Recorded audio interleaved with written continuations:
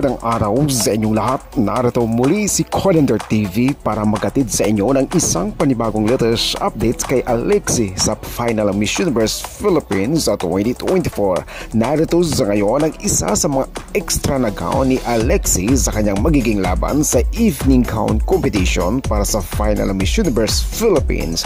Narito na ang isa sa mga pinagpipilian na magiging extra na gown ni Alexi sa nalalapit ng kanyang laban sa final Miss Universe Philippines. Narito ang pasilip, panoorin po natin ang full video. Ako naman si Codender TV.